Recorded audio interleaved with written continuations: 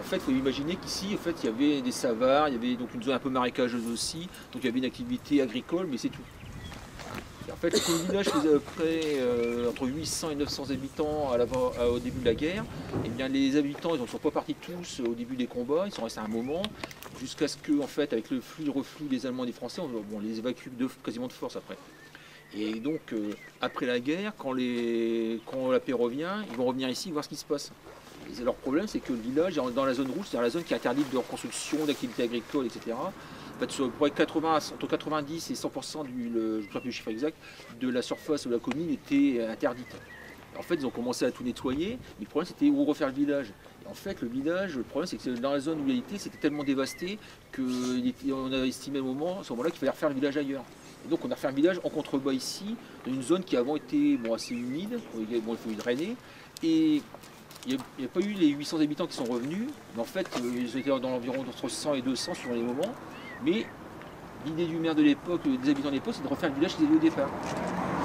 Donc, ils ont profité d'un don de, la Suède d'un million de francs de l'époque pour reconstruire par exemple ce bâtiment.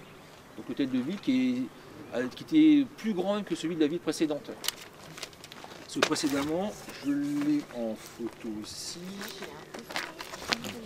Je la retrouve. Voilà. Cette mairie, c'était un bâtiment, c'est une grande maison quoi.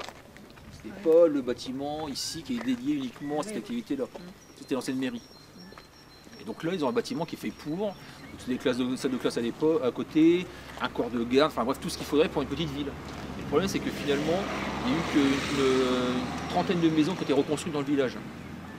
Les autres, ils sont partis soit, bon, il y en a qui sont décédés euh, entre temps, il y a des gens qui ont trouvé à se marier ailleurs, qui ont trouvé du travail, qui ont d'autres qui ont profité des, dommages de guerre pour euh, s'installer ailleurs, et d'autres, bah, ils ont perdu leur terre parce que l'État les, a expropriés.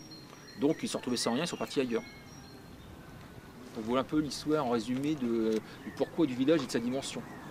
Donc là, euh, l'hôtel de ville il a été construit donc, euh, à la fin des années 20 et le- l'église où on va aller, c'est pareil, les- la construction c'est à la fin des années 20, en fait peut-être 28, sur 31-32. Vous avez des questions? C'est clair? Donc là, c'est bon, le village déplacé et euh, reconstruit initialement sur un plan assez large. Mais finalement, Combien personne- Et combien d'habitants après la guerre bah, Après, ils sont dans les entre 150-200, ça varie un petit peu. Et après, là, ils sont redescendus, ils sont sous de 100 maintenant, ils sont dans les 80, je crois. Ça pose quand même quelques problèmes.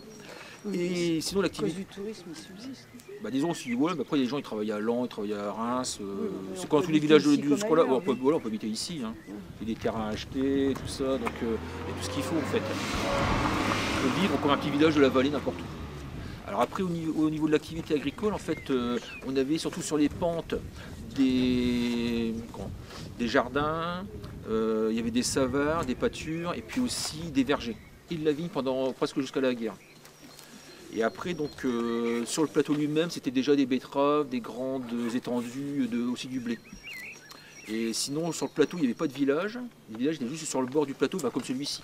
Mais vraiment sur le bord, tous les villages que vous verrez ici, ils sont en bordure de plateau. Simplement, ceux qui ont été détruits et reconstruits, il y a celui-ci qui était construit en bas, et Cerny lui était reconstruit au-dessus. Il était également sur, versant, enfin, sur le bord nord du plateau, il était reconstruit 500 mètres plus haut.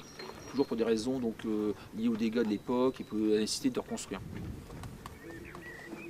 Je Ceux qui les- sont revenus ont été indemnisés. alors après, les gens sont indemnisés qui reviennent ou qui reviennent pas. C'est-à-dire qu'après, ils ont de l'argent. Après, la- Ah oui. la- le problème, c'est où on investit son argent. Ils n'étaient pas obligés de revenir ici. Et après, donc, il y a aussi des gens qui vont spéculer sur euh, leurs terres, qui vont vouloir partir directement. C'est les situations sont extrêmement variées. Après, dans le livre de Burgelès, euh, Le réveil des morts, vous avez des exemples de ces situations-là.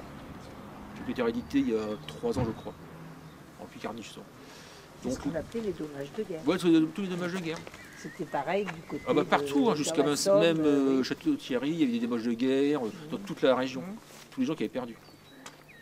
Après, donc, euh, c'est partout, c'est qu'est-ce qu'on fait de ces dommages de guerre? Et après, donc, le problème, c'est qu'en fait, revenir ici tout déminer, c'est extrêmement dangereux parce que bon, les militaires ont fait des parties de déminage, mais après, il y a les civils qui en font, et même quand ces des régions sont déminées, en fait, il y a toujours des problèmes. Là, la Société historique de Soissons va publier des témoignages de, de Soissonnais qui sont partis pendant la, qui ont vécu la Seconde Guerre mondiale, soit qui sont partis, soit qui sont restés. Et l'un d'entre eux raconte qu'il fait un petit bilan des morts de la guerre. Et dans, son bilan, il parle de deux frères qui étaient partis à la guerre, ils sont revenus. Il y en a un qui était, euh, sans aucune blessure, absolument indemne. après euh, ces quatre ans de guerre. Et ce qui lui arrive, c'est que un an après la guerre, ils étaient en train de, nettoyer un champ. Et à midi, donc ils vont manger dans un chemin creux. Il n'y a pas de problème, on va faire du feu. Ils font leur feu, puis un début qui explose. Et celui qui était les deux frères, il y en a qui est tué. Celui qui est tué, c'est celui qui avait vécu la guerre sans aucun problème. Donc euh, c'est encore dangereux. Et ça, les obus qui traînent, bon, on en remonte toujours euh, de nos jours. Après, il suffit d'aller sur le bord des champs, les, agriculteurs ils les mettent sur le côté, et normalement le service de déminage les récupère. Il y a environ tous les ans dans le département, il y a entre 40 et 50 tonnes d'obus qui sont, enfin de munitions qui sont, remontées, c'est des obus et des grenades essentiellement. Après, peut retrouver du matériel euh, militaire mais en terrain. C'est après, donc, c'est-à-dire qu'en fait, quand vous. Quand j'étais gamin, mes parents habitent près de Vic-sur-Aisne, et quand je faisais, faisait des trous, en fait, la question c'est est-ce qu'on est tombé sur un truc. Euh... Donc, vous avez un village qui s'appelle. Enfin, le hameau, c'est Roche, et donc, euh, il y a beaucoup de roches souvent par terre, et quand, quand je tapais pour creuser, en fait, fois, on tombe sur des trucs, on se dit qu'est-ce que c'est sur quoi on tape? C'est un obus, quoi.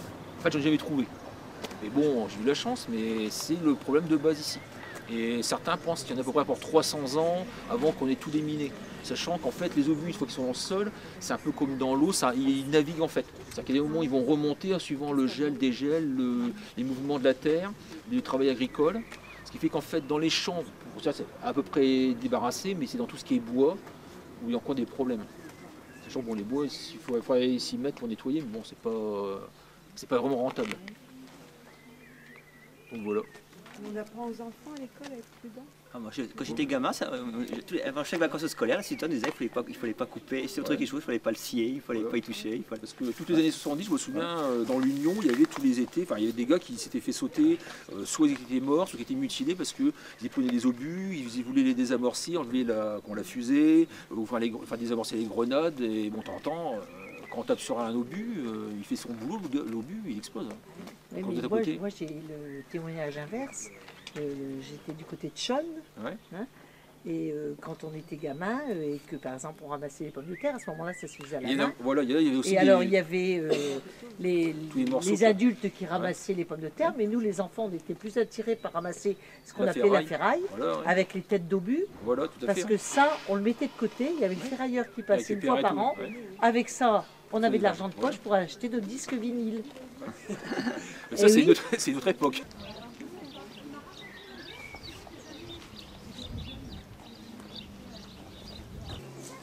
Alors là, je ne sais pas si vous voyez par contre, l'ancien village de Crâne. Bah, moi c'est comme je le fais, ça dépend de mon inspiration.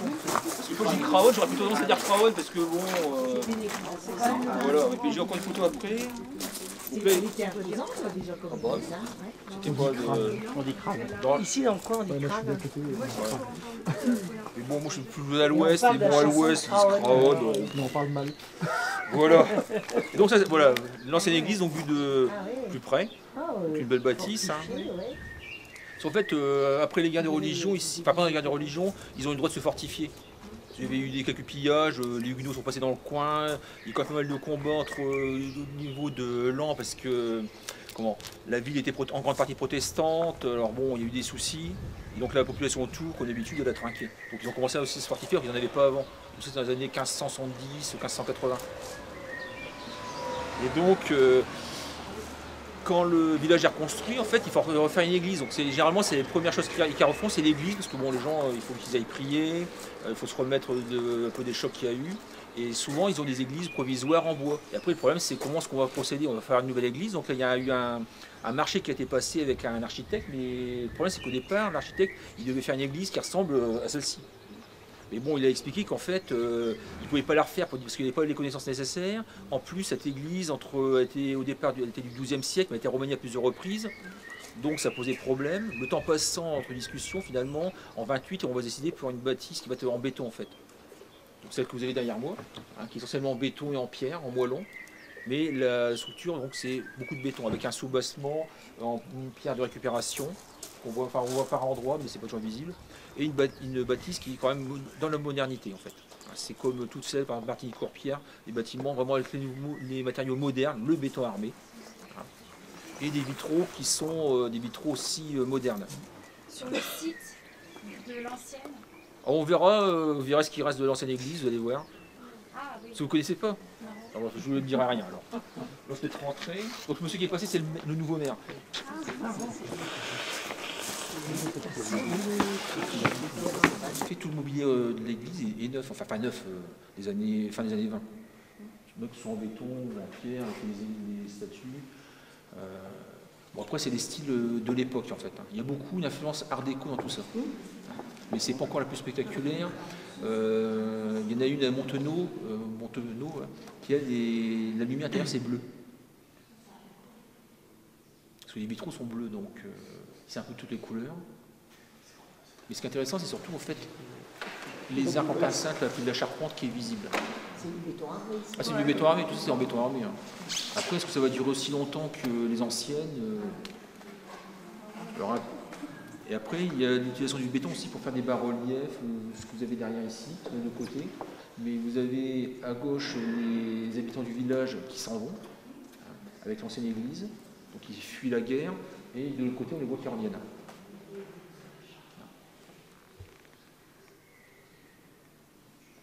Donc là-bas, vous voyez la tour d'observation au, sommet de laquelle on ira.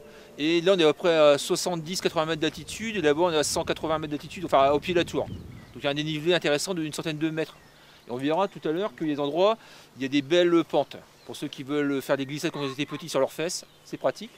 Alors en fait, le village était de part et d'autre de cette tour. Donc on a dit la dame tout à l'heure, en fait, il est bien exposé. Et bon, là, outre euh, la vie, vous avez également des vergers, euh, des prés, des pâtures. On faisait aussi beaucoup, pas mal d'élevage. Et ça permettait de nourrir un village, enfin de faire vivre un village à peu près 800 à 1000 habitants suivant les moments. Hein. village qui était aussi relié par le train à Lan et surtout à Reims. Et c'était également, quand on parle de plateau de Californie, il y avait donc euh, un monsieur qui s'appelait Vanier, qui était donc travaillé dans le Champagne à Reims, et il avait une propriété ici. Il y avait une sorte de guinguette, bon, il y a des mauvaises langues qui avaient dit qu'il y avait aussi d'autres activités que la décence m'a de préciser, surtout au présent d'une caméra. Et donc, euh, ces activités, bref, il les faisait ici. Donc, les gens venaient de Reims, donc ils en avaient pour une demi-heure, trois quarts d'heure de train, ils montaient ici. Et l'ancien maire, M. Janteur, a raconté que son père avait vu, lui, son grand-père, avait vu les, les qui venaient ici, ils descendaient en train et ils montaient vers, le, vers la guinguette. Et après, donc, il y avait donc des activités donc, sur la guinguette. Et après, sur la partie qui est pour nous, donc sur notre gauche, c'était des champs. Et il n'y a pas longtemps, j'ai relu un bouquin sur la campagne de France de Napoléon. Et il y avait donc une gravure qui montrait la bataille de Craonne en 1814. Et on voit justement, donc le, peintre s'est positionné après euh, au-dessus de l'horizon ici. Et il prend le plateau en enfilade vers l'ouest. Et on voit qu'en fait, le plateau est nu. C'est-à-dire que c'était des champs et sur les côtés, il y a en partie des prairies, des prés, des pâtures, des vergers et du bois. Voilà. Donc là, on va remonter. Alors ici, pendant la Première Guerre mondiale, en fait, euh, quand les Allemands refluent après la bataille de la Marne, en fait, ils vont s'arrêter ici. Et à partir du 12-13 septembre 14, donc, les Allemands sont installés sur le plateau, plus ou moins en retrait. Hein. Les Français marchent un peu sur le plateau. Il y a des. Euh, c'est le, 18e corps d'armée qui arrive ici. Son régiment de cavalerie arrive à avancer un petit peu jusqu'à vers Corbeny. Il y a des, types qui arrivent à passer de l'autre côté du plateau, mais finalement ils sont refoulés. Et le front va en fait euh, se fixer pour les Allemands sur le plateau, sur la crête. Les Français en contrebas, plus ou moins avancés. Et en fait, les Français sont même jusqu'au 25 janvier 15, ils mortent sur le plateau. Et le 25 janvier 1915, les Allemands font une grande attaque et repoussent les Français. En fait, ils les chassent du plateau, les Français sont en contrebas. Ce qui fait qu'en fait, euh, globalement, les Allemands, bon, sont. Euh, il y a un no man's land en fait, qui correspond grosso modo à la pente. Après, les Français vont commencer à revenir un peu dans, le, dans les ruines de l'ancien village, où pendant un moment, il y a encore euh, des civils. Que les civils restent quand même beaucoup plus longtemps qu'on le croirait début, moi, je pensais que les civils ils partaient dès que les Allemands arrivaient, ceux qui pouvaient s'enfuir, qui n'étaient pas rattrapés par, l'avancée des Allemands, ils, restaient, ils s'enfuyaient. Non, en fait, les gens ils attendent. Et dans les villages, on voit que une bonne partie de la population, au moins la moitié, reste sur place en attendant que ça se passe, comme en 1870, euh, en 1814. Mais en fait, euh, les Allemands ils remontent. Après, une fois que le fond se stabilise, à partir de septembre, octobre 1915, les gens essaient de revenir ici pour euh, sauver ce qu'ils ont à sauver, puis reprendre une sorte de vie normale. il y a des gars qui reviennent. Euh... Des fois, ça se passe mal, parce qu'en fait, les villages qui sont à l'arrière du front sont bombardés par les Allemands. Et t'entends, vous des gars qui se font, donc ils prennent un obus, ils sont tués, alors qu'ils revenaient simplement paisiblement chez eux. Et en fait, il y a pas mal de civils qui sont tués incidemment, comme ça. Et ça pose euh, pas mal de problèmes pour les, pour les, militaires aussi, parce qu'il faut savoir ce que font ces civils. Il y a des histoires que, fois, il y aura des civils qui auraient trahi, qui auraient donné des informations aux Allemands, il y a des choses assez curieuses, des gens qui arrivent encore à traverser les lignes françaises et allemandes pendant un petit moment, avant que vraiment les lignes soient complètement euh, étanches. Donc on peut considérer qu'à mon avis qu'elles sont étanches vers le mois de la fin de l'année 14. tout le monde est bien installé, et donc là il est trop dangereux de circuler, euh, de traverser les lignes. Parce qu'en fait, euh, les tranchées sont, même si vous avez un kilomètre de tranchée, vous n'avez pas des soldats euh, tous les mètres, ils sont quand même espacés, et plus ça va, et plus les soldats vont être dispersés, ils vont être concentrés à certains points. Ils vont laisser des zones un peu libres qu'ils occupent en fait que lors des combats. Pourquoi plateau de Californie Alors parce qu'en fait, quand Vanny a installé son, sa guinguette, il a notamment utilisé, il avait, apparemment il a dû voyager pas mal, il avait des, il a acheté en tout cas des essences d'arbres qui venaient d'Amérique, de Californie après. Mais ça, c'est une explication possible, c'est pas garanti à 100%. Mais en fait, c'est pas comme certains endroits où les noms qui ont été donnés pendant la guerre, parce que les soldats, au bout d'un moment, pour se repérer dans les tranchées, ils baptisent les tranchées, bon, les Français, les Allemandes, de tout un tas de noms. Par exemple, la caverne du, Dragon, ça n'existait pas, c'était la ferme de la Crotte avant. Mais il faut nommer les endroits pour savoir où on est. Puis comme les gars, ils restent un peu. Le 18e corps d'armée, il arrive ici en septembre 14, ils repartent en avril 16. Après, ils vont aller à Verdun en fait. Après, ils reviendront un petit moment euh, au moment de l'offensive de, Nivelles. Après, ils repartiront, ils vont se balader un peu partout en France. Mais comme des, comme des troupes qui, dans ce secteur-là, qui est relativement calme, enfin relativement, hein, relativement, c'est-à-dire qu'il y a quand même des combats. Hein. Il y a des jours, tous les jours, on se balance des obus, on se tire dessus, mais il n'y a pas vraiment d'offensive. Sauf dans des coups de main. Et même pendant l'offensive de, de dans les suites, il y a des moments où il ne se passe pas grand-chose en fait. Il y a des journées à peu près paisibles. De temps en temps, il y a des coups de main allemands. Alors demain, je vous le montrerai, mais par exemple, le cimetière de franco-allemand de Cerny-en-Lanois, il est installé à, côté de l'ancienne sucrerie. Et le 14 juillet, le 14 juillet 1917, les Allemands ont fait donc euh, célébrer donc, la fête nationale française. Ils ont fait un coup de main qui a anéanti un bataillon complet du 243e d'infanterie. Dans la nuit, donc ils ont fait un bombardement qui ressemble un peu à ce qu'ils allaient faire un peu après, dans les offensives du printemps 1918, l'été 18. Ils ont fait un petit coup de main sur un secteur de 500 mètres de long à peine, et ils ont liquidé donc, le bataillon qui devait faire à peu près 600-700 hommes, hein, qui a été quasiment anéanti. Donc on s'ennuie pas non plus ici. Hein. C'est pour ça qu'il y a des cimetières. Si vous regardez dans les cimetières, vous voyez qu'il y a des morts sur toute la période de la guerre. Il y a plus, de, pertes au moment de l'offensive de, Nivelles et ses suites des combats qui, ont lieu pendant l'été, mais c'est pas. Euh, il y a des morts dans toute la guerre. Il y a des coups de main intéressants. Euh. En fait, quand les Français vont attaquer, ils vont passer sur cette plaine, ils vont déjà se faire faucher avant d'arriver sur les positions allemandes et commencer à s'en emparer, mais les grignoter petit à petit. C'est pas là où ils feront leurs plus grandes avancées. Les plus grandes avancées sur le plateau, ici, c'est plutôt du côté de la caverne du Dragon, où ils vont essayer de franchir les lignes allemandes et en fait ils vont arrêter parce que les Allemands sont mis sur la contrepente, un peu comme euh, ce que faisait Wellington pendant la guerre d'Espagne et puis après à Waterloo. Ils s'installent sur la contrepente, donc on les voit, on voit bien où ils sont. Et je reparlerai un peu après aussi. On va déjà progresser un peu.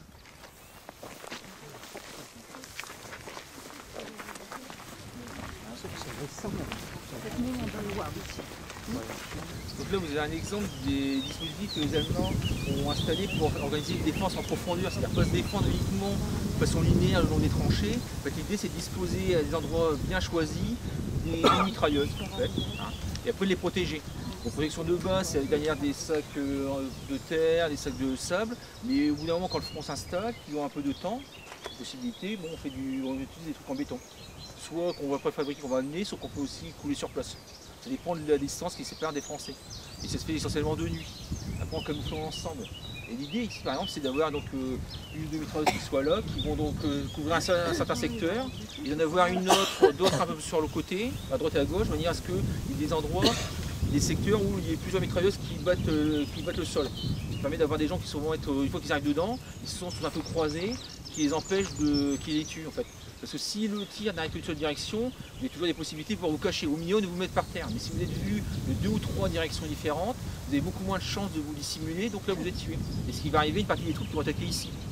Ils arrivent ici, donc ils avancent, et ils se retrouvent face à cette mitrailleuse. Et là, ils n'ont pas 40 solutions. au moment-là, on est en 17 pour cette attaque-là. En fait, ce moment-là, l'armée française a commencé à équiper ses troupes avec des fusils lance-grenades. Donc en fait, le fusil, le level, mais le modèle 1907, va être équipé d'un embout spécial et avec une cartouche spéciale, on tire et on envoie une, grenade à fusil en fait, hein, qui va normalement essayer de, détruire euh, les lignes mitrailleuses. vous avez des exemples si vous, voyez, si vous intéresse dans le film de Schoendorfer, la, 317e section, vous avez des exemples de tirs de grenades. C'est le même principe, euh, lui ça se passe en 54, là en 17 c'est le même principe. Sinon également, l'armée française est en train de doter d'un, non pas de mortier à l'époque, mais d'un canon de 37 mm, qui a le même rôle en fait. C'est dans des armes qui permettent à l'infanterie d'avancer et de détruire les petits ouvrages qui, la gênent.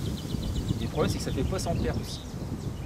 Que le jour où ils vont attaquer en avril 17, en fait, ils sont dans une situation où il y a une météo qui est exécrable pendant tout le mois de février, le mois de mars, il y a gelé, il y a du dégel, les routes transformées en fondrière, le terrain est vraiment très difficile. Et ça va nuire également à la, progression des troupes, parce que avec la météo qu'il y aura le jour de l'attaque, en fait, pour l'artillerie, l'artillerie a deux possibilités, soit tire sur des zones qu'elle a déjà, des points qu'elle a déjà repérés, ce qui est classique, donc ça demande simplement de dire on tire à tel endroit, l'artilleur, mais également il peut tirer un tir donc euh, plus d'opportunités. Qui va poser beaucoup plus de problèmes parce qu'il faut que les artilleurs sachent où euh, envoyer des observateurs pour repérer. Donc là ça va poser pas mal de problèmes.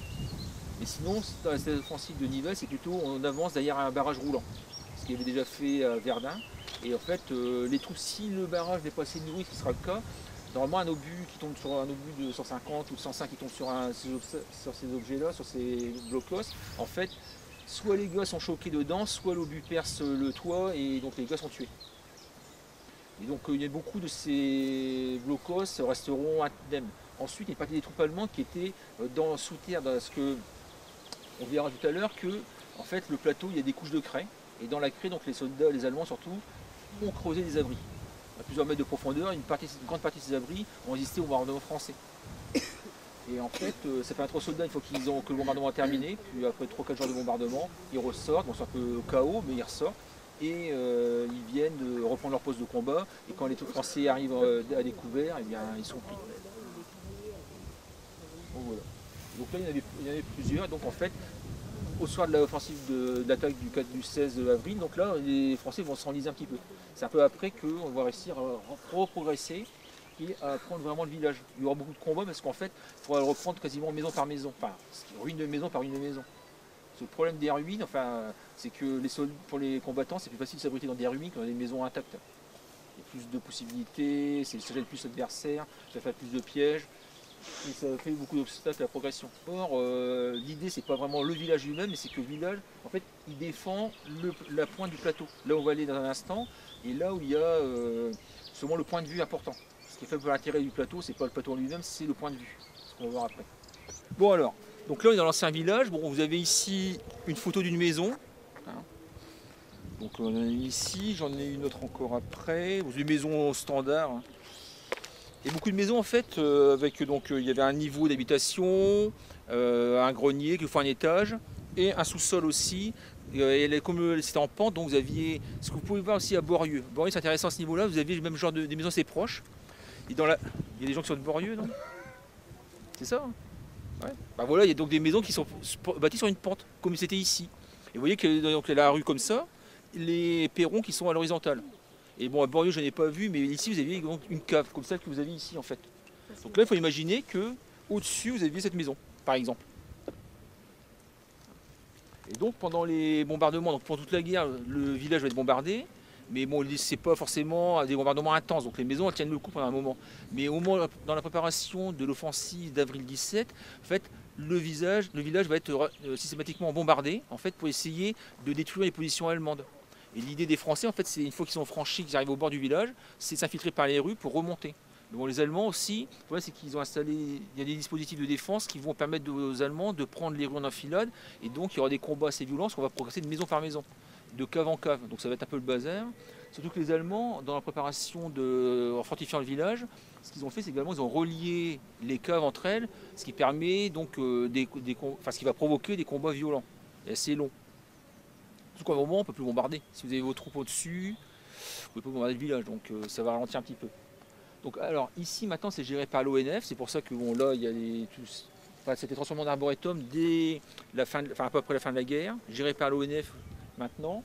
Et si quand vous allez avancer, vous allez voir qu'au pied des arbres, vous avez, enfin quand il y a encore les arbres, vous avez des petites plaquettes qui vous indiquent soit l'essence d'arbre qui a été replanté, soit le nom de la rue ou un monument, un bâtiment qui était là avant. En fait, l'idée, c'est d'avoir le village fossilisé ici, hein. en imaginant que là-haut, vous voyez qu'il y a un arbre, un conifère, genre pin Douglas, qui est là, devant, vous voyez. Et donc, au-dessus, il y a une plateforme où on va aller dans un instant, et c'est là qu'il y avait l'église. Hein, donc là, on voit déjà qu'il ne reste plus grand-chose. Je vous montre là l'église qui était là avant. On est juste à côté. Vous voyez ce qu'il en reste au bout de de combat, de bombardement, bâtiment en ruine. Fait là, normalement on va montrer aux élèves parce qu'en fait, ici vous avez donc l'église, une partie du cimetière avant, là. Nous on va voir l'ancien cimetière qui est plus haut. Hein, il y a des quelques tombes qui sont donc euh, en cours d'activité. Pardon. C'est pas, pas vraiment le bon terme, mais disons qu'ils sont encore euh, honorés parce qu'il y a encore des gens qui ont de la famille ici qui viennent ici. Il a été nettoyé il y a près un mois. Et c'est on est vraiment au cœur du village. Et si vous avez fait attention, vous avez donc euh, les panneaux qui indiquent tout le village, les rues. et là, vous avez également, parce que c'est un des éléments importants de l'histoire de la ville, c'est la bataille de Crâne qui a eu lieu donc en 1814. Les rejetés vers l'arrière jusqu'à la ferme de c'est la ferme qui est à côté de la carrière du Dragon. Et là, va s'engager donc le 7, la bataille de Crâne, où les Français vont essayer donc de bousculer les, Russes, les Russes pardon, en les prenant notamment un peu frontalement, mais surtout sur les côtés. Et pour diverses raisons, ça va mal se passer et la bataille va durer plus longtemps que prévu. Finalement, pour euh, Napoléon Ier, c'est une, sorte de victoire à la Pyrrhus parce que les Russes vont être refoulés hein, jusque l'emplacement de la route, c'est maintenant la nationale, enfin l'ancienne nationale 2. Ils vont remonter vers euh, et les Français, en fait, Napoléon va perdre à peu près 5, 5 à 6 000 hommes, c'est-à-dire à peu près euh, un cinquième de son armée. Et, donc après, il laissera en infériorité numérique. Et pendant la nuit, les Prussiens vont faire un bon coup de main sur une partie de ses troupes, bousculer une partie de son armée, puis le lendemain, Napoléon va être obligé de, repartir vers le sud. Et après, il va se retrouver quelques temps après, dans le mois qui suit, sera à Paris, à Fontainebleau, et puis donc c'est la fin de l'Empire, la catastrophe. Voilà, donc, euh, donc un plateau qui est doublement intéressant pour le passé. Mais bon, il ne reste plus rien de, Napoléon sur le plateau. Hein. on va revoir un petit peu tout à l'heure ce qu'il y a aussi. Donc là, le village est un peu rapide, mais en fait, l'idée, c'est de bien comprendre qu'ici, on est au cœur d'ancien village. Et le fait que là, on a des champs euh, basques, c'est lié aussi que c'était des basques qui ont combattu ici, notamment ah. de, septembre 14 à, avril 16, et les partis reviendront après. D'où ces basques qui sont là, ces champs basques, et le monument des basques qui est de l'autre côté au-dessus de Cranel. Mmh. Voilà. Et donc voilà, on était au coin du village, qui montait, enfin les maisons, on en trouvait, il y avait une rue qui montait avec des maisons jusqu'au plateau.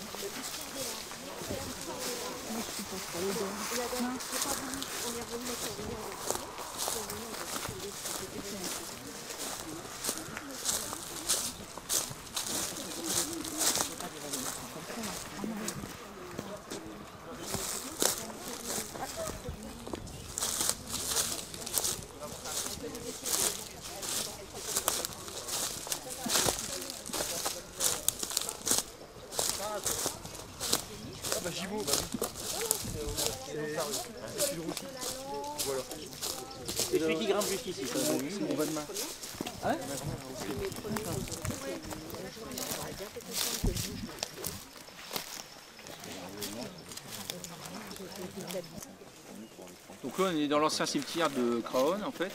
Et c'est grosso modo la lisière au bord du village. Donc le village était derrière vous.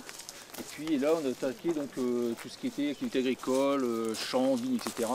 Et donc l'intérêt, bon, il y a des termes qui sont encore. Euh, comment, qui servent encore, disons, qui sont encore décorés, parce qu'il y a des gens qui ont encore de la famille ici. Il y a encore quelques personnes qui ont eu l'autorisation d'être enterrées ici. Et le dernier, c'est Yves Gibault, un écrivain français que vous connaissez peut-être, qui est notamment de Allons enfants, il raconte sa vie d'enfant de troupe.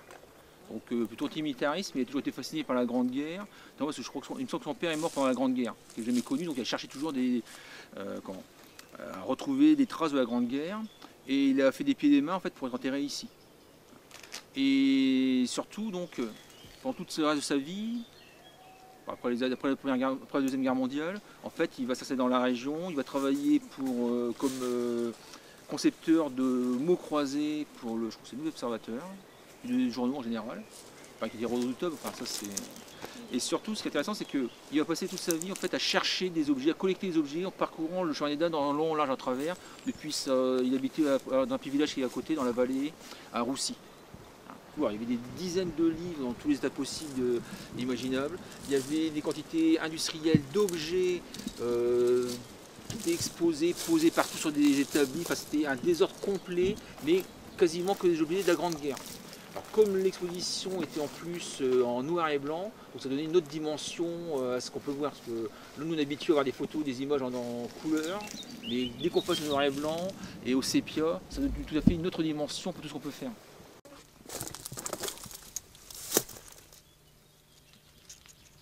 Bien, donc ce qui est intéressant, c'est que là-bas, au sud-est, on a à 25 km de nous la ville de Reims.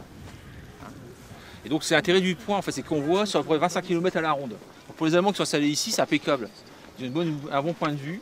Même si à l'époque l'aviation est suffisamment développée pour que on puisse prendre des photos aériennes, mais c'est quand même plus pratique de voir, il n'y a pas le problème de la chasse ennemie, etc. Donc euh, ça pose gain de problème. Alors pour les Français, c'est un, inconvénient parce que en fait, lui, sur l'offensive, va en gros de Reims jusqu'à Soissons.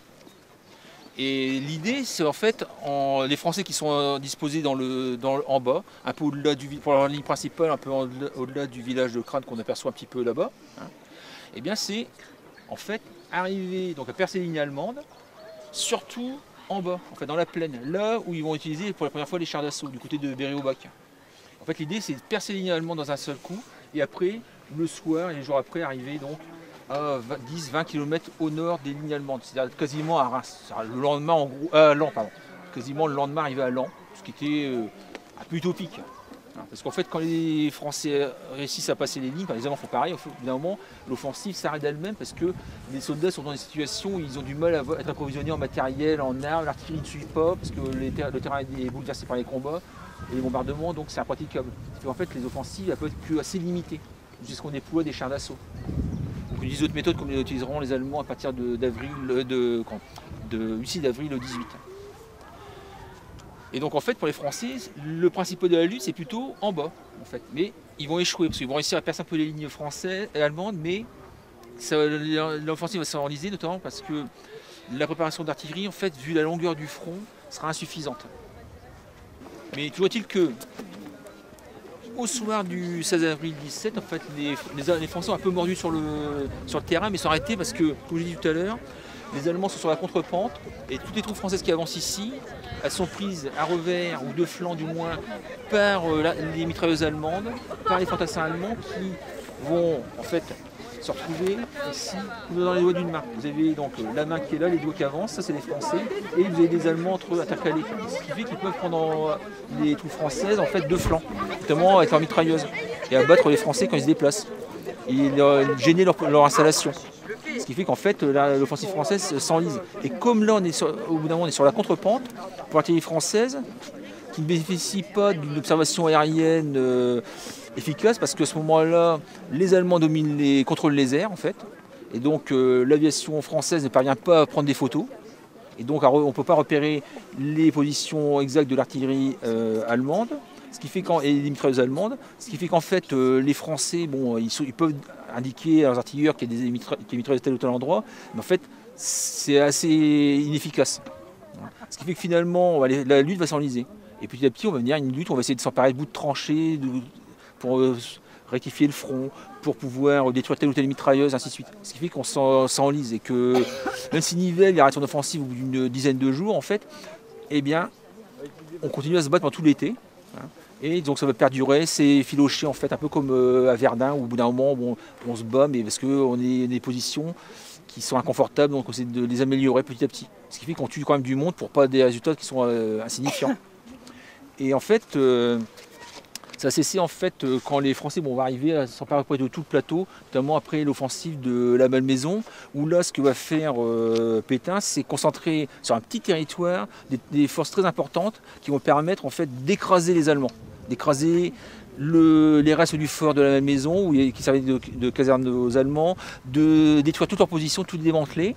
Et ça va permettre après à l'infanterie française d'avancer et de contrôler rapidement, avec des pertes assez importantes quand même, un secteur qui sera d'une sorte d'une dizaine de kilomètres carrés, assez petit. Mais on a mis les paquets.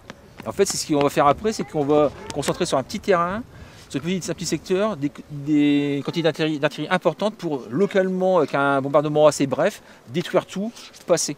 Mais après, on est obligé de s'arrêter parce qu'il faut avancer l'artillerie. Comme l'artillerie, en gros, a une portée de 10 à 20 km pour les pièces les plus courantes, ce qui fait qu'en fait, euh, on est rapidement bloqué. C'est pas comme aujourd'hui, on a des moyens beaucoup plus importants, des roquettes, etc. Mais là, à l'époque, euh, on est un peu limité. Et puis après, il faut également, comme une consommation d'obus qui est assez importante, il faut approvisionner euh, les artilleurs. Ce qui fait qu'en fait, quand on avance, il faut s'installer, faire les, positions d'artillerie, amener les stocks, etc. Donc ça prend un temps infini. Quand Nivelle attaque en avril, il a commencé à faire ses stocks de munitions au, mois de janvier. Hein. Et donc euh, ça prend en fait euh, pour amener, alors je pense que j'avais mis ici, je ne fais pas de bêtises, euh, quelques chiffres. par exemple pour l'offensive de la Malmaison en fait, on a quand même plus de 1000 pièces d'artillerie lourde avec plus d'un million d'obus. Hein. pour bombarder un secteur qui fait près, sur un terrain qui fait près 5000 mètres de, longueur, hein. avec 2 euh, millions d'obus de 75, etc.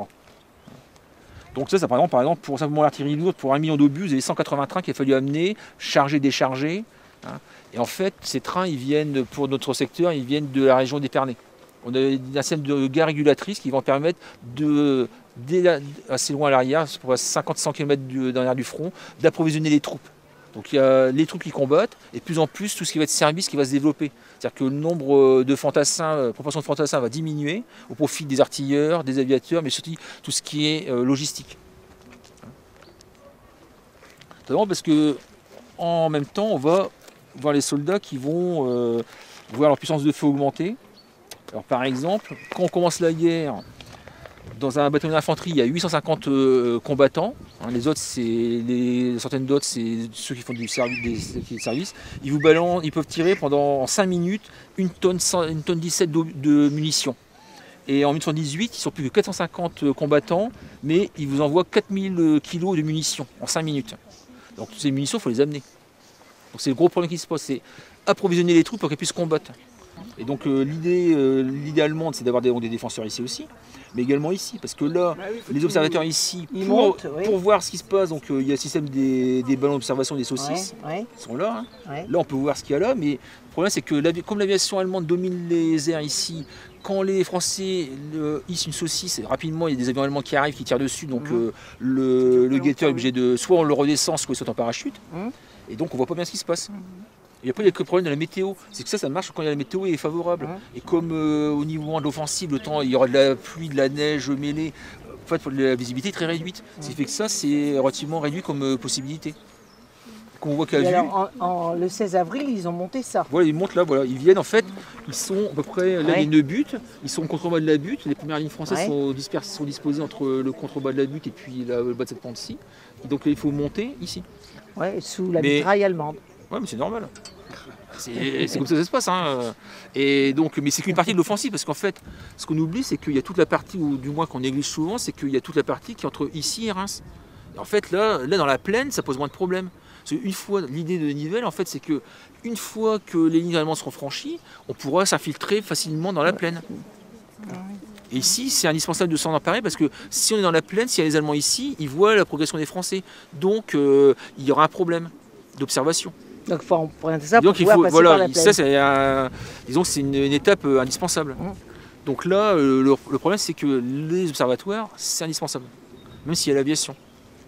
Parce que là, qu'il fasse beau ou pas, on peut quand même voir des choses. Euh, la différence, c'est qu'on ne voit pas forcément à 25 km. On peut voir à 2-3 km, donc ça peut être suffisant. Et en plus, surtout qu'à l'époque, les Français comme les Allemands dit, développent aussi le repérage de l'artillerie par le son. Mmh. Donc on repère les, les d'artillerie en écoutant, donc avec des systèmes de dispositifs d'écoute. Donc euh, c'est comme on fait une triangulation, c'est à peu près la position de l'artillerie adverse. Et donc ça permet de bombarder. Alors si on est ici, on entend ce qui se passe là-bas, on peut ça facilite les choses. Tout un tas de raisons qui font qu'en fait, c'est indispensable d'être sur le, sur le plateau. Puis après, la, guerre, la bataille s'entretient d'elle-même. Parce qu'on se dispute avec quelqu'un, ça s'entretient pendant un moment de, soi-même. Donc euh, ça continue comme ça. On va avancer jusque là-bas. En fait, euh, c'est plus par, euh, vers Reims qu'il y a un gars qui a été capturé avec justement les plans de son unité. Et là, euh, ça permet de restituer une partie de localement ce qui va se passer. Mais un sous-officier qui avait aussi les, plans, et donc pour son unité. Et donc ça a donné des informations complémentaires, mais à chaque fois, pendant la Grande Guerre, quand il y a des attaques, en fait, elles sont préparées extrêmement longtemps en avance. Par exemple, ça a commencé, la préparation commence au mois de en janvier, donc, euh, et plus ça va, plus, plus, les informations arrivent. Et donc les Allemands, enfin comme les Français font de leur côté, en croisant les informations, ils arrivent à savoir à peu près ce qui va se passer. Ils ne connaissent pas tout, mais ils ont une idée de ce qui va arriver. Et donc là, plus l'observation aérienne, donc tout ça, ça permet de, par rapport à tout un tas d'indices, d'avoir une idée. Et le rôle du deuxième bureau, c'est justement ça, d'étudier euh, tout ce qu'il y a comme information sur l'ennemi, interroger les prisonniers, euh, savoir quelle unité est là, etc. Donc il reconstitue en fait euh, l'ordre de bataille allemand, ses activités, pour avoir une petite idée. Tous les jours, il y a un compte rendu qui est donné donc, au niveau du régiment, à la division, suite, de manière à ce que le commandant en chef ait une idée d'activité. Ça permet également de dire, là on commence à avoir une petite activité allemande, donc il faut se préparer, peut-être une attaque, un coup de main, etc. Et quand il y a une attaque, chaque, chaque homme, enfin chaque cadre, officier sous-officier, a des documents pour savoir ce qu'il doit faire.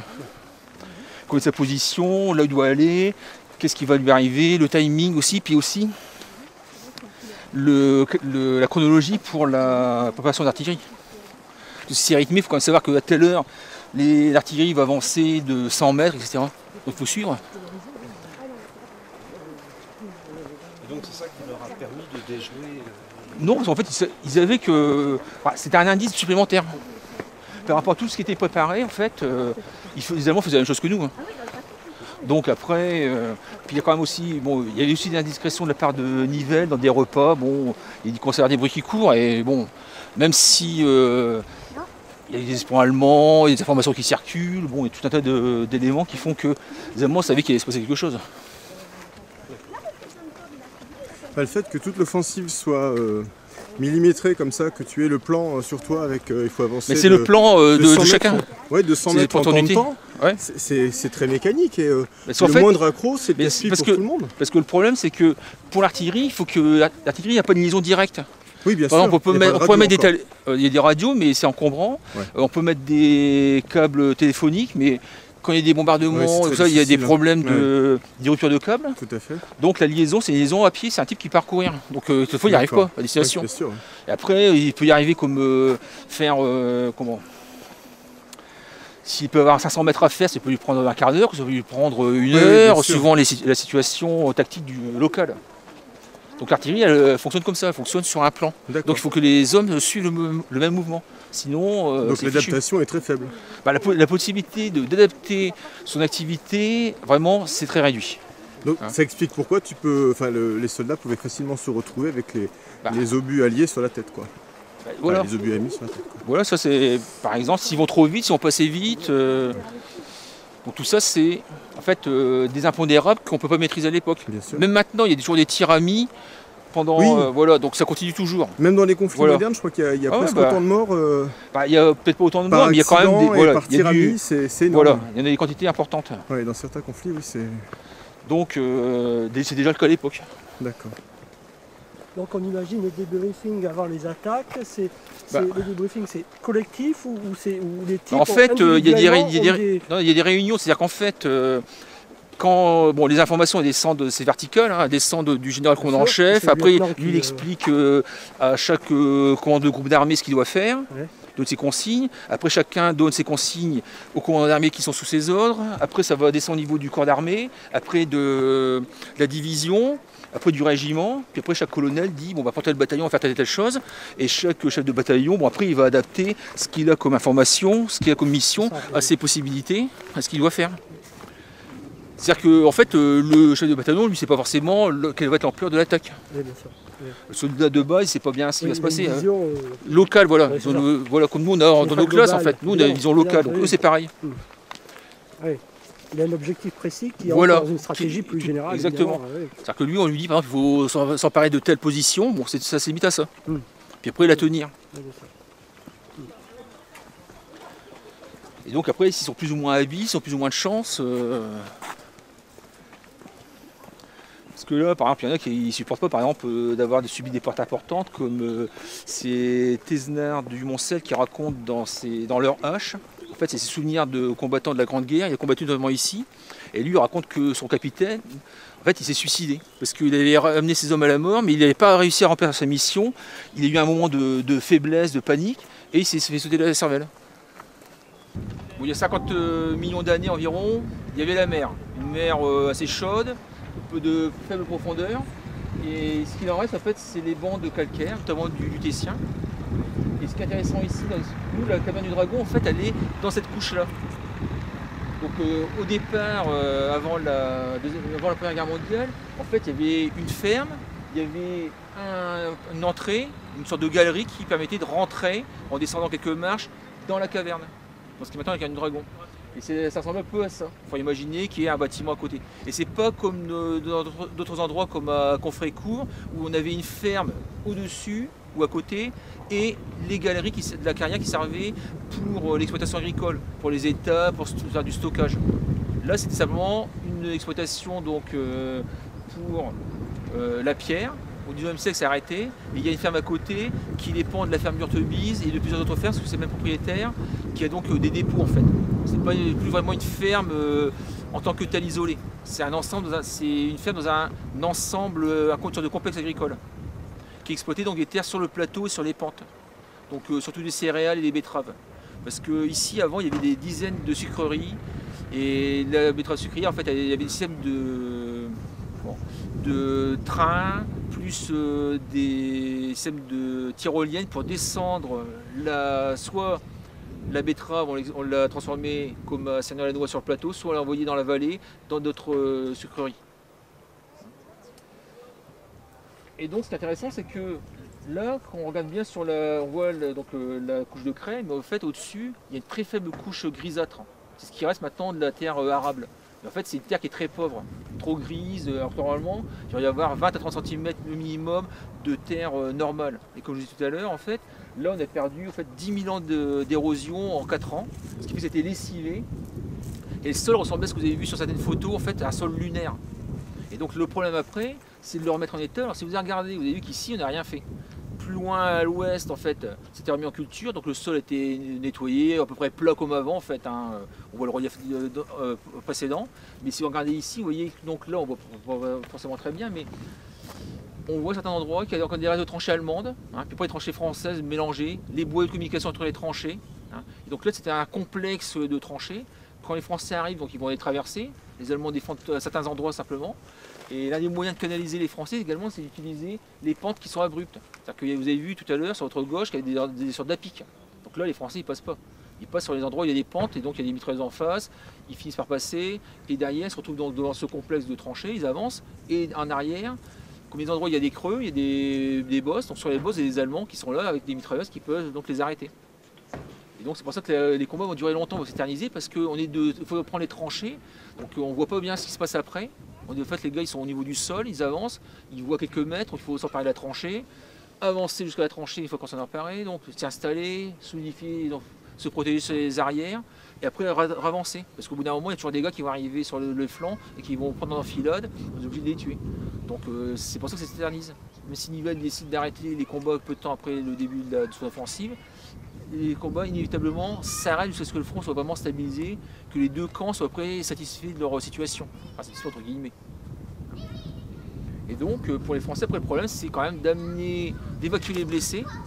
Donc le problème, ça va être un système de santé qui sera sous-dimensionné. On ne pensait pas qu'il y aurait autant de pertes. Et les prisonniers, en fait, les, pardon, les blessés vont se retrouver jusque dans le centre de la France, c'était prévu au départ, mais ils vont partir dans des conditions assez difficiles. En fait, il y aura des trains de blessés, ils vont se mélanger avec les trains de munitions, de matériel, il y aura des embouteillages, bref, des blessés qui vont agoniser au lieu d'arriver directement à l'hôpital. Là, il y, a un gros, problème d'organisation. Ce n'est pas un manque de bonne volonté, c'est un problème de, mise en place du dispositif et euh, d'exécution vraiment euh, d'admission de, santé. Et pour les Français également, le problème, c'est de s'approvisionner après en matériel, donc euh, remplacer les munitions, se nourrir, et donc tout vient en fait d'en bas. Sachant que les Allemands, comme ils étaient ici avant, donc ce qu'ils font, c'est que les artilleurs préparent des, plans de tir, et on leur dit par exemple telle heure, vous allez bombarder telle position, tel point de tel point, par exemple un carrefour, on va lancer 10, 20 au but, puis après on passe à autre chose. En fait, ils font des tirs de harcèlement. Les Français vont faire ça après, qu'on aura des vues sur euh, la vallée des lettres. Parce après, le but, c'est après de voir la vallée des lettres. Et après, on s'arrête parce que le paradoxe, c'est que de l'autre côté, une fois qu'on arrive là-bas, vous avez une vingtaine de kilomètres jusqu'à Lan. Vous avez en fait c'est un petit massif en fait très creux avec des, collines, des creux, beaucoup de végétation, des marais. Bref, on ne peut pas aller se battre là-dedans, ça n'a aucun intérêt. C'est s'enliser. Ce qui fait qu'en fait, ici, il faut qu'on arrive là. Bon, bah, pour les Français, on s'arrête. Par contre, ça peut être intéressant, c'est du côté de Chavignon, du Fort de la même maison, où là, on arrive sur une plaine. Donc les combats peuvent se concentrer de ce côté-là, la même maison, la faux, où il y a un débouché possible, comme il y a un débouché possible de l'autre côté du plateau. Donc voilà.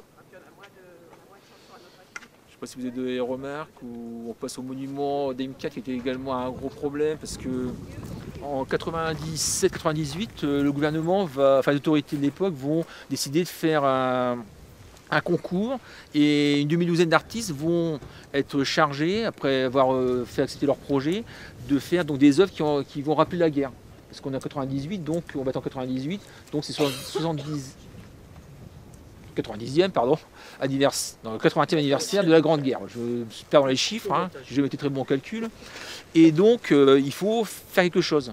Et donc, euh, parmi les œuvres qu'il y a, donc ils sont toutes dans le nord de la France, il y a donc l'œuvre d'un artiste d'origine autrichienne, Haim Kern, donc, qui était euh, juif, dont la famille a fui l'Allemagne nazie dans les années 30, ils se sont réfugiés en France.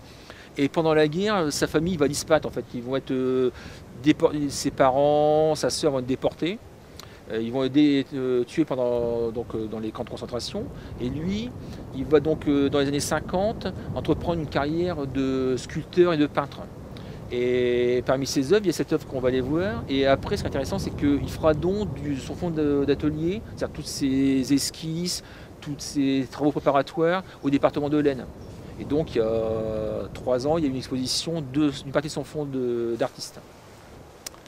Et donc là, c'est son œuvre bon, qu'on connaît le plus. Ils n'ont pas choisi leur, pas choisi leur euh, sépulture.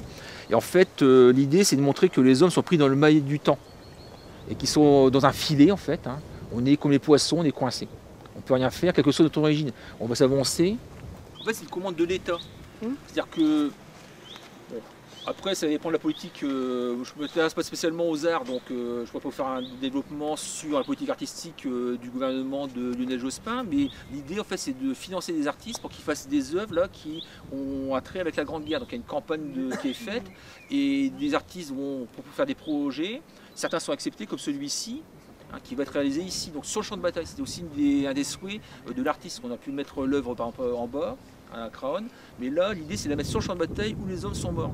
Donc ici, on a une vue dégagée, un endroit qui, est donc, qui était l'enjeu de quelques affrontements, avec une œuvre qui est en bronze, avec euh, des têtes essentiellement, hein, qui sont toutes identiques, qui sont en fait, euh, quand j'ai vu l'exposition du fond d'artiste de Kern, en fait, c'est ce genre de, visage qu'il fait. Des visages assez émaciés qui font plus au départ penser aux déportés. Ça peut ce que les élèves quand on amène des classes ici, en fait, c'est leur réaction. Ils ont un peu de mal après, mais après rapidement ils comprennent en fait l'idée du filet. En là vous avez euh, deux, trois épaisseurs de filet, donc on voit bien qu'on est pris. enfin, c'est nous, on est tous englués dans l'histoire. Mais si on s'en rend pas compte, euh, on est tous. Euh, enfin bon, nous, voilà, les élèves c'est un peu plus difficile à leur âge peut-être, mais ils comprennent rapidement la, métaphore en fait. Et la polémique autour de cette Alors voilà, parce qu'en fait, Lionel Jospin fait un discours. Il a, il a commencé à parler de réhabilitation ici, ouais. Donc il a parlé de réhabiliter euh, les fusillés, fusillés pour l'exemple. Ça posait donc des, polémiques, voilà, les tous les mutins. Bon, une armée, bon, ok, des mutins, ça arrive, hein. Euh, les Anglais en ont eu. Euh, souvenez des mutins de la Royal Navy en 1798. Bon, Ils en ont branché quelques-uns, qu'ils en ont pendu quelques-uns. Bon, ils ont modifié les conditions de vie, c'est toujours le même problème hein, des marins. Et ça s'est euh, calmé. C'est pareil pour l'armée française. Euh, en modifiant un peu les conditions de vie des soldats, bon, on, fait, on en fusille quelques-uns. Bon, euh, c'est un peu le principe de base dans une armée de l'époque. Hein. Nos jours, les mentalités ont un peu changé. Mais bon, la, technique est toujours à peu près la même. c'est normal, disons. C'est une pratique millénaire. pour les types qui sont pendus ou fusillés, c'est d'autres paires de manches. Mais l'idée, elle est là. Donc euh, il y a eu des fusils pendant toute la guerre, essentiellement donc, soit pour des refus d'obéissance, hein, surtout face à l'ennemi ou des gens qui ont fui pour une raison quelconque, mais ça c'est humain, mais bon, si vous n'avez pas de chance d'être pris, d'être fusillé, c'est un peu la règle du jeu, sachant que tout le monde au départ est informé de, ce qu'il attend. Et après, il y a des délits qui ont été fusillés, mais pour des délits de droit commun. Hein, des viols, des meurtres, bon ça c'est un peu à l'époque, comme il y a la peine de mort, ça pose pas vraiment de problème. Mais le problème qui se pose, c'est qu'ici ou après à Vingré, vous avez des types qui sont fusillés un peu au hasard. C'est-à-dire qu'il faut faire. Euh, ça peut le principe de la décimation chez les Romains. Donc euh, on va pas en tuer un sur 10, mais on en prend un certain nombre, on les fusille pour l'exemple. Et bon. Euh, après, dans les familles, ça posait des problèmes parce que bon, quand vous avez votre ancêtre qui a été fusillé, bon, pour ses enfants, s'il en avait, si ça c'est, bon, c'est humiliant. Après, donc, même si vous n'avez jamais connu votre aïeul, bon, ça pose un certain de problèmes. Et le discours de Denis Jospin a renouvelé un peu cette, euh, ces polémiques et ça aboutit en fait qu'il y a une, de contestation mais qui est également liée au climat politique parce que en même temps c'est une période de cohabitation donc entre ce que dit Lionel Jospin, Premier ministre, et Jacques Chirac, le président de la République, est contre. Euh, voilà. Donc l'affaire est envenimée. Et en fait à deux reprises, donc ce monument qui fait à peu près 4 tonnes si je me souviens bien, a été quand même mis à terre.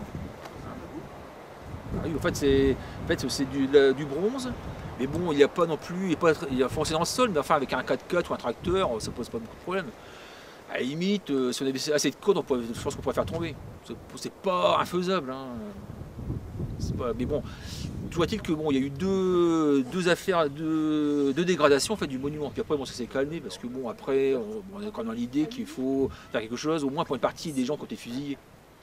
Sachant qu'après, bon là, avec euh, la commission qui avait été nommée par l'actuel président de la République, en fait, euh, on arrive à l'idée que bon, on ne pourrait pas vraiment réexaminer tous les cas parce que ça représente un temps infini de, travail, d'analyse des dossiers et c'est un peu euh, disproportionné.